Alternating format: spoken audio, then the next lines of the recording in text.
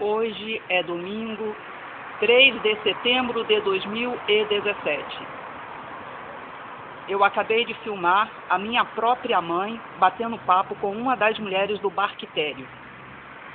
Agora ela vai pegar o ônibus. Eu, Veridênia Damasceno Passos, sofro tortura psicológica, ataque de lixo, ataque de bosta, todos os tipos de xingo, vagabunda, maluca, doida, vai tomar no cu, vai enfia no rabo, tudo isso vem do Barquitério.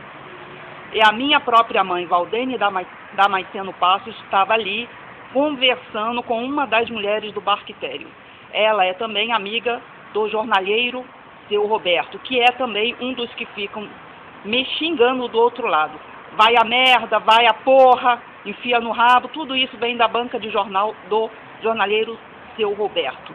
E a minha mãe não é só amiga dos, do, dos quitérios, vai para lá bater papo, como é amiga também do jornalheiro, que manda, me manda e a merda, que manda tomar no cu, me xinga de vagabunda.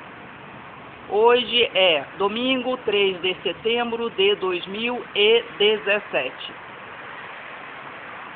Meu nome é Veridênia Damasceno Passos. Estou filmando pra, para que essa mulher jamais negue a relação dela com os donos do Barquitério e o jornalheiro seu Roberto.